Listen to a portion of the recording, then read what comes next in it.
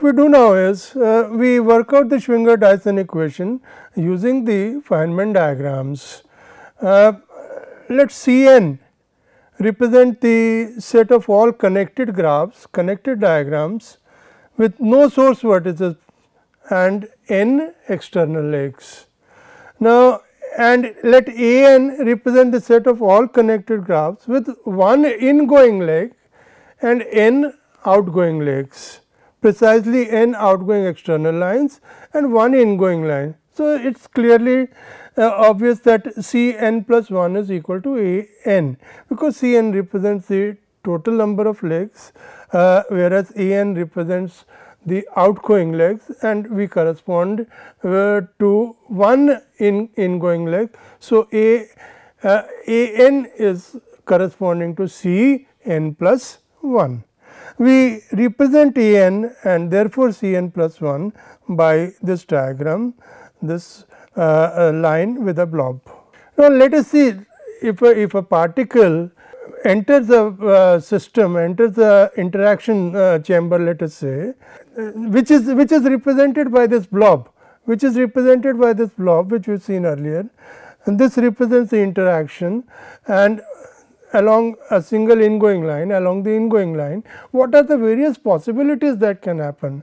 The first possibility is that uh, the particle does not interact uh, at all and if it does not interact at all it moves out or it leaves the system uh, precisely in the manner uh, that it was before it interacted or before it entered into the blob. So, that therefore, that is represented by a straight line. This particular uh, possibility this particular possibility the possibility of no interaction that is in a sense the free field is represented by a straight line and it evaluates to delta n comma 1 1 upon mu y delta n comma 1 because in this case the number of outgoing legs has to be 1 by default because the number of in incoming legs is 1 there is no interaction therefore, the number of outgoing legs also has to be 1. The second possibility is that the incoming particle encounters a 4 point vertex. Please note we are working in phi 4 field phi 4 theory. So, the particle interacts uh, encounters a 4 point vertex and when it interacts the 4 point vertex the possibilities are that it could uh, it could go along any of these three directions and then encounter another blob uh, with with the first blob corresponding to n 1 external legs, the second blob corresponding to n 2 external legs and the third blob corresponding to n 3 external legs. In other words, the incoming line at the vertex splits up into three outgoing lines which each of each these outgoing lines ends up in a blob. The first one first blob relates to n 1 external legs, the second one relates to n 2 external legs and the third one relates to n 3 external legs. So, clearly n 1 plus n 2 plus n 3 must be equal to n and number 2 uh, the the symmetry factor is 1 upon 3 factorial clearly because uh, they can be these 3 blobs can be interchanged in 3 factorial ways without disturbing the diagram. And uh, the number of ways in which we can select n 1 identical lines in blob 1, n 2 identical lines in blob 2 and n 3 identical lines in blob 3 out of a total of n objects is given by n factorial divided by uh, n 1 factorial, n 2 factorial, n 3 factorial. And a n 1 represents the value of this blob first blob upper blob, a n 2 represents the value of the middle blob and a n 3 represents the value of the third blob and the value of this vertex is equal to minus lambda 4 and the value of this incoming line is equal to 1 upon mu. So, the entire value of this diagram is equal to this whole expression. Let me recall because this is the first one.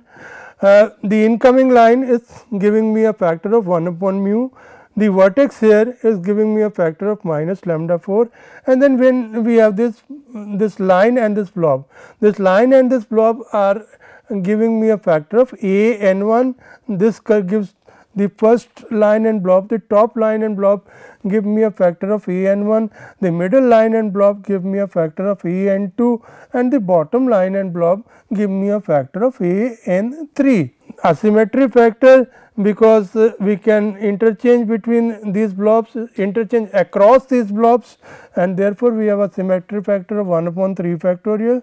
And the number of ways in which we can select n 1 lines or uh, n 1 outgoing lines out of a total of n lines uh, and n 2 n 1 identical lines out of a total of n lines, n 2 identical lines out of a total of n lines, n 3 identical lines out of a total of n lines subject to the constraint n 1 plus n 2 plus n 3 is equal to 1 n is given by n factorial divided by n 1 factorial n 2 factorial n 3 factorial. So, this is the whole expression corresponding to this Feynman diagram. The third possibility is that the particle encounters a vertex, it encounters a vertex. The incoming line splits up into three lines. One of the lines encounters a blob and the two other lines encounter a common blob as shown in the diagram. The incoming line splits into three lines because we are we have a four vertex for uh, therefore the one incoming line we have three outgoing lines the one of the outgoing lines has a separate blob and the two other two lines have a common blob. So, in the value of this factor let us this diagram let us work it out. Uh, again we have one vertex that gives me minus lambda 4, the incoming line gives me minus 1 upon mu. And uh, now this this line this blob and this line this uh, upper line and the blob upper line and the blob give me a factor of a n 1 and the bottom lines give me a factor of a n 2 plus 1. Why n 2 plus 1? Because here we are having two incoming lines. If you look at the bottom blob, uh, we are having n outgoing lines, but not one incoming line, we are having two incoming lines. So, instead of a n 2, it now has a factor of a n 2 plus 1. It now has an argument of n 2 plus 1, because now we have 2. Remember what was a n 2? a n 2 was 1 incoming and n 2 outgoing. Now, we have 2 incoming and n 2 outgoing. Therefore, the argument of a is n 2 plus 1 and the, uh, uh, the uh, upper one obviously evaluates to a n 1 and uh, uh, the symmetry factor because the uh, the two the two lines here can be flipped among each other. So, we get a symmetry factor of 1, 1 upon 2 factorial and the number of ways out of n objects we can pick up n 1 similar objects and n 2 similar objects is given by n factorial upon n 1 factorial into n 2 factorial. So, this explains the valuation of this diagram. So, this is the second case, which case we have one incoming line uh, uh, branching into three lines, one line going away to a separate blob, two the two other lines coming back to a common blob. Now, we come to the fourth case. In the fourth case, uh, you encounter all the three lines you encounter a vertex you split into three lines and all the three lines re, uh, reunite or enter into the same blob. Therefore, in this case what happens is and, and this, this can happen in only one way. So, we have n factorial upon n factorial that is one way, uh, but the lines can be interchanged amongst each other in 3 factorial ways. So, the symmetry factor is 1 upon 3 factorial. Now, we as far as this blob is concerned, uh, we have 3 incoming lines and n outgoing lines because you have 3 incoming lines, 1 incoming lines gave me a n. Uh, therefore, if you have 3 n incoming lines, you have a n plus 2. uh, uh, remember a n was one incoming line n outgoing lines in this case we have 3 incoming lines n outgoing lines. So, that corresponds to the argument n plus 2 for the function a and of course, the as usual as in the previous cases the vertex gives me a factor of minus lambda 4 and uh, the line uh, incoming line gives me a factor of minus mu. What we do, do now to obtain a generating function for a n what we do now is we multiply the entire expression that we have the sum of all the Feynman diagrams that we have case A plus case B plus case C plus case D we multiply throughout by j and j to the power n upon n factorial we multiply them throughout and we sum over n multiply everything by j to the power n by n factorial and we sum over n. The left hand side represents the field function phi j uh, phi symbol j and let us see what we get for the right hand side. The first expression is quite straightforward. The first expression because of this delta function n comma 1 it will pick out n equal to 1 term. So, we will end up with j upon mu. So, the first expression evaluates to simply j upon mu it is independent of n. Now, we come to the evaluation of the second term. Let us look at the evaluation of the second term. The second term is given by the expression at the top of your slide.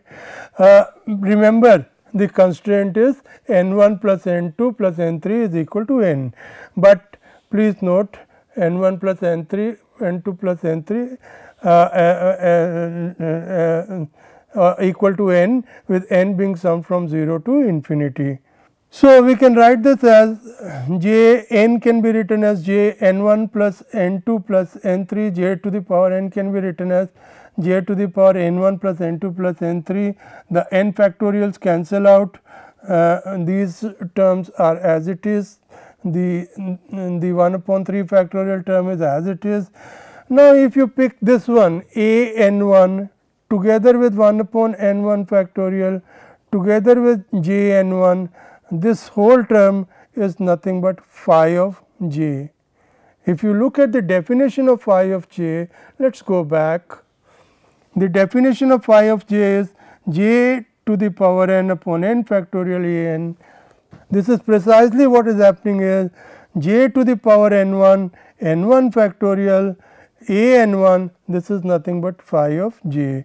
Similarly, for j to the power n 2 n 2 factorial a n 2 this gives me another factorial another factor of phi of j j n 3 n 3 factorial a n 3 gives me another factor of phi of j. So, we have in all this whole thing condenses to phi and, and the summation is remember uh, over n greater than equal to 0 to infinity. So, we can write it as n 1 comma n 2 comma n 3 greater than equal 0 to infinity and therefore, uh, we can decompose this expression into phi j into phi j into phi j that is phi j whole cube. The rest is as it is minus lambda 4 upon mu is retained and so is the symmetry factor 1 upon 3 factorial. So, the second term in a nutshell evaluates to the expression that is given in the green box. Let us look at the third term. The third term again adopting the same methodology uh, uh, as far as n 1 is concerned it gives me phi of j if you look carefully we have j n 1 j to the power n 1 here, we have n 1 factorial, we have a n 1 here. So, this whole expression gives me phi of j, but the problem here is in the case of n 2 we have a n 2 plus 1. So, we need to handle this. Let us look at this term carefully. This term is uh, rewritten as isolated and rewritten in the red box. Uh, summation n 2 greater than equal to 0 j to the power n 2 1 upon n 2 factorial a n 2 plus 1. I can write it as j summation n 2 plus 1 greater than equal to 1 j n 2 can be written as j n 2 plus 1 minus 1, uh, 1 upon n 2 factorial can be written as 1 upon n 2 plus 1 minus 1 factorial and a n 2 plus 1 is retained as it is. Now, simply changing the index uh, from n 2 to n 2 plus 1 and renaming it as n 2, we get n 2 greater than equal to 1 j n 2 minus 1 1 upon n 2 minus 1 factorial a n 2 and this is nothing but phi dash of j the first derivative of j with respect for first derivative of phi j with respect to j. So, we substitute that here and we get the valuation for the case C. We have got valuation for case A, we have got valuation for case B, we have got valuation for case C. For case D, we proceed similarly and we get this valuation for case D. Now, let us substitute everything. When we substitute everything, uh, in uh, the left hand side is phi j of course, the right hand side as per the various valuations that we have done, we get the expression here uh, uh in the green box and the very interesting part is this is precisely the equation that we have obtained earlier uh, in the previous uh, derivation of the Schwinger Dyson equation for the field function exactly the same equation we have obtained. So, we come to a very fundamental inference a very important inference, but before that just uh, brief on the on the various other parameters. The generating function for the connected Green functions are given by this expression that is log of z j. Therefore, w dash w j is the is the generating function for the connected Green function that is given by log of z j. Uh, w dash j is, is because w j is the log of z j. So, w dash j is equal to z dash j upon z j and phi j is equal to this expression by definition and that can be written in the terms of as I mentioned a n is equal to G n plus plus uh, c n plus 1 a n is equal to c n plus 1 I am sorry a n is equal to c n plus 1. So, we write c n plus 1 here and we find that phi j is equal to w dash j is equal to z dash j upon z j. Now, phi j is given by this expression if I substitute phi j equal to z j z dash j upon z j what do I get? I get the Schwinger Dyson equation for the path integral for the generating function which is given in the green box here. Using the expression in the red box which we have derived just now from Feynman diagrams and using the definition of phi j that we have just obtained here phi j is equal to z j upon z j the last equation on your slide on this slide uh, we obtain the expression or the Schwinger Dyson equation for the path integral or the generating function. Now, z j by definition is equal to this expression uh, n integral d phi exponential minus s phi plus j phi. If you set if you use the Schwinger Dyson equation that we have just now put uh, derived uh, lambda 4 upon 6 z triple dash j plus mu z dash j minus j z j. If you operate if you substitute z j equal to this we get n integral d phi lambda 4 upon 6 because you see z j and the derivatives of z j when they operate on uh, this uh, when you differentiate z j with respect to j, every dif differential will pull down a factor of phi and bring it within the integral. So, that is precisely what is happening here when you differentiate z j 3 times with respect to j, you pull down a factor of phi cube.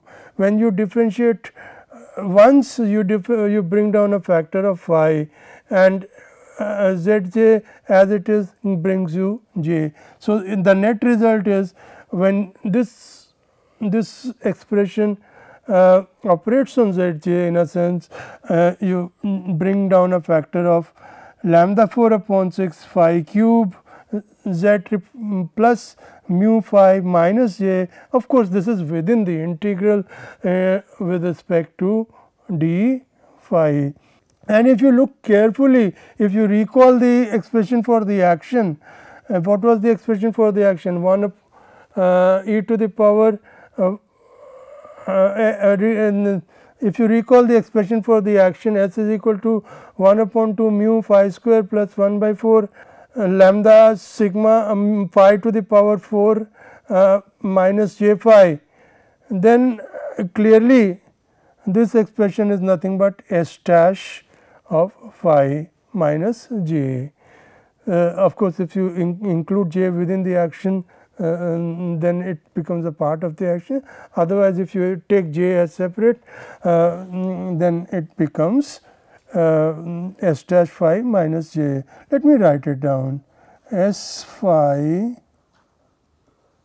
is equal to 1 by 2 mu of phi square plus 1 upon 24 lambda phi 4 now, if you differentiate this you get mu of phi mu of phi which we have here uh, uh, plus lambda 4 upon uh, phi uh, lambda 4 upon lambda 4 phi cube upon 6 which you have here and of course, j is there in both cases. So, we get this expression s dash phi minus j here. Now, if you look if we we can write this expression s dash phi minus j exponential minus s phi plus j phi as minus integral d by d phi exponential minus s phi plus j phi and that turns out to be uh, integral of a total derivative d exponential minus s phi plus j phi which is equal to 0 because it depends only on the endpoints and the endpoints are plus minus infinity and we assume that the action at these two points uh, uh is, is 0 or the action drops off sufficiently rapidly. So, that at the two extremes uh, minus infinity and plus infinity action uh, uh vanishes. Now, these, the, these inferences are very interesting the Schwinger-Dyson equation for Zj must hold by definition. We got it here, we got this expression here the Schwinger-Dyson equation must hold by definition. But the Schwinger-Dyson equation for Zj corresponds to the given Schwinger-Dyson equation for phi j. You see if, if you recall this expression this Schwinger-Dyson equation which we obtained directly from the first principle from Zj itself from the definition of Zj. If you go back uh, this Schwinger-Dyson equation is also obtained from the Schwinger-Dyson equation for phi j that is up, uh, given in your red box. But the Schwinger-Dyson equation for phi j has been worked out using the combinatorics uh, symmetry factors. No, you see how did we work this out? We got it from the Feynman diagrams and in the Feynman diagrams the symmetry factors that we plugged in were based on certain combinatorial rules uh, or combinatorics of the diagram, the various nuances or the various uh, topologies of the diagrams, various diagrams. Uh, so, what is the what is the net inference? The net inference is that those very specific symmetry factors are the correct specific coefficients and the only correct co specific coefficients uh, that can that can be used in at those places because they give rise to this hierarchy of results. Let me repeat this is fundamental. The Schwinger-Dyson equation for Zj can be directly obtained straight away from the value of Zj as equal to n integral uh, um, exponential um, minus uh, s uh, uh plus uh, minus j phi uh, d phi. So, that, that you can obtain right away from Zj from this n exponential minus s phi plus j phi. This can be used to obtain the Schwinger Dyson equation. But this, this Schwinger Dyson equation can also be obtained directly from phi j and phi j can has been obtained directly from Feynman diagrams and Feynman diagrams contain that specific symmetry factors. Therefore, the specific symmetry factors must be the correct symmetry factors because the outcome is correct at the end of the day the Schwinger Dyson equation that we get for Z j coincides with the original uh, Schwinger Dyson equation that we get from first principles. Now, we talk about loop expansions. This is another interesting topic. You see fundamentally this whole theory is perturbation theory.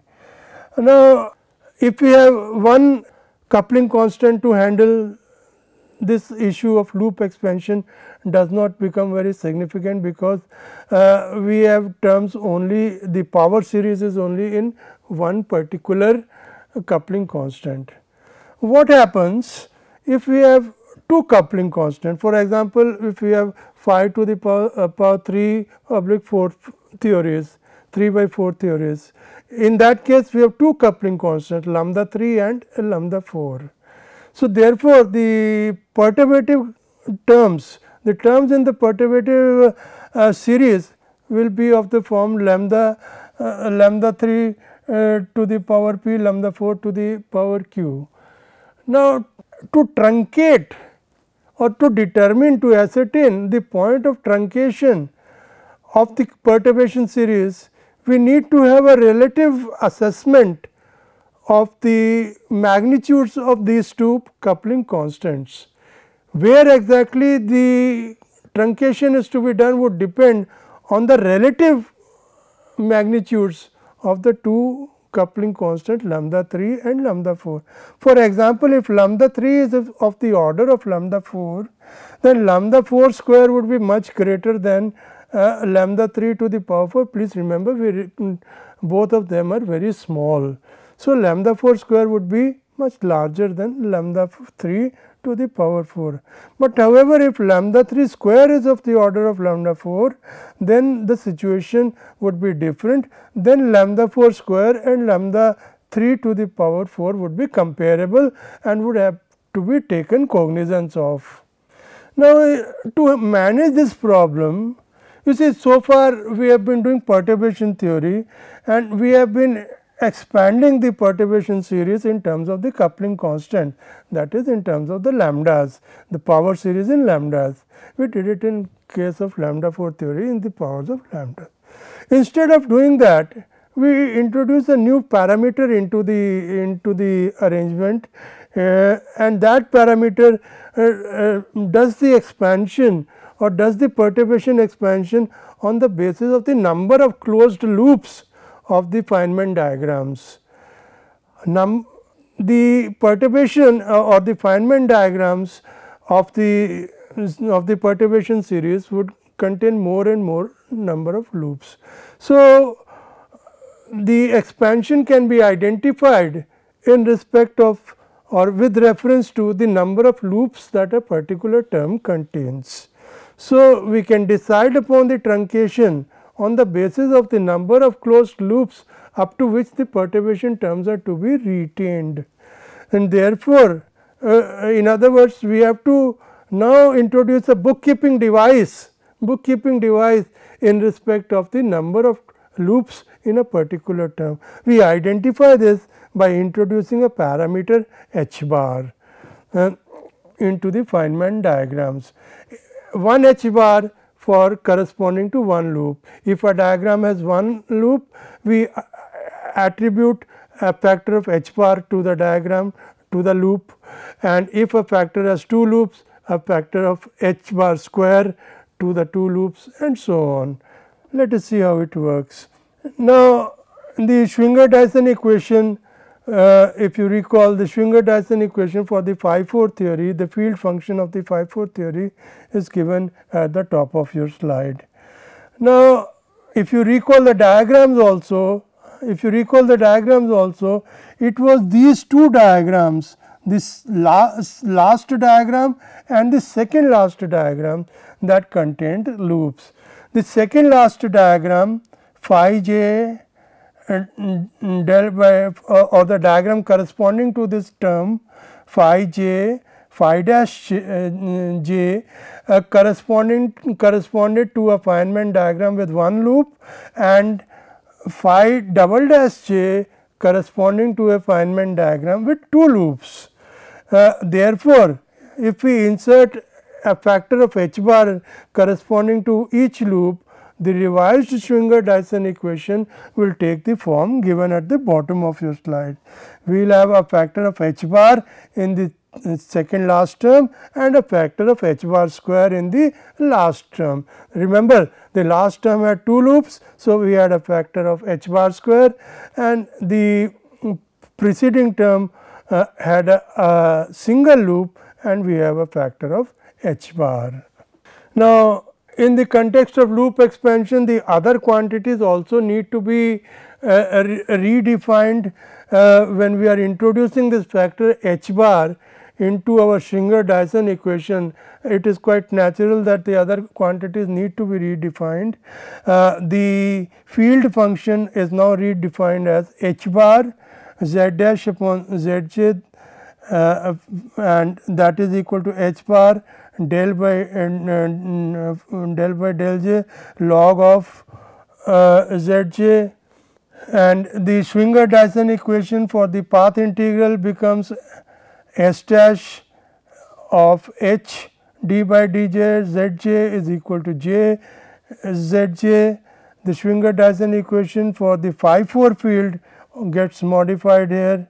Uh, uh, the expression is given on your slide lambda 4 upon 6 h bar cube z triple dash j plus mu h bar z dash j minus j z h and uh, the zj changes to we have a factor of h bar coming into play uh, uh, together with the action.